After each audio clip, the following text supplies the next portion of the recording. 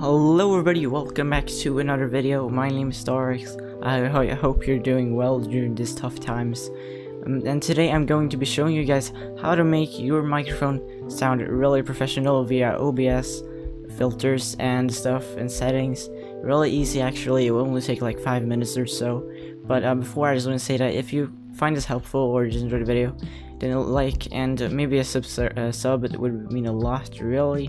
But now let's get into the actual video, okay?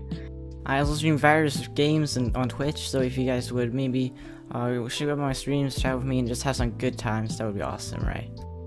So first you want to obviously uh, launch OBS Studio or Streamlabs OBS. Both work perfectly fine. It's basically the same, um, basically the same overlay on everything, so it's the same process. And now you want to go down to sources down here and select audio input capture and uh, you want to press OK and choose which microphone you want to use. I'm to use my, my HyperX Quadcast. There, done and OK. Now we got my mic running over here. You can see the timeline right here. And um, what we want to do now is right click on this and click on filters, okay? Remember that now. Now we're to go to the plus button and here there are a lot of filters that will basically change your your audio. And the first thing there are okay so the first thing is that uh, either noise gate or noise suppression.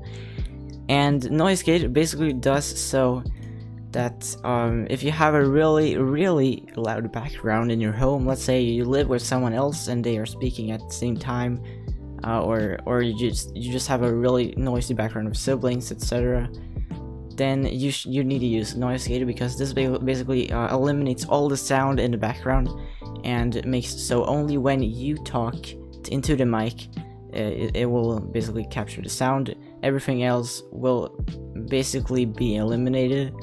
And so as I said this only I suggest I suggest you only only use this if you have a really noisy background.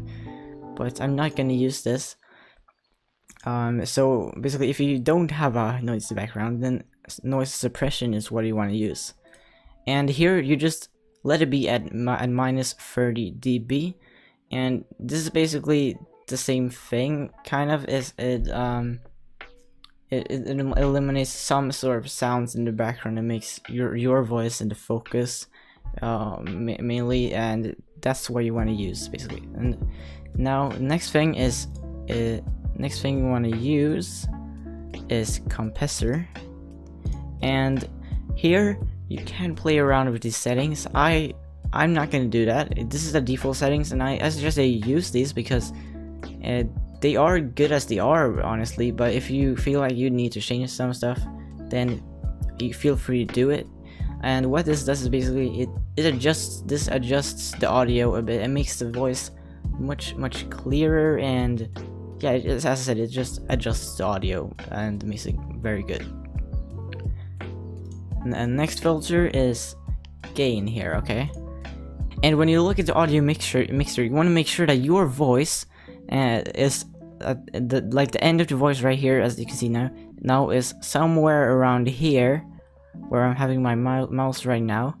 So you want to um, basically try around and see when your voice comes up there. So now, for example, it goes up, and uh, maybe like this, yeah.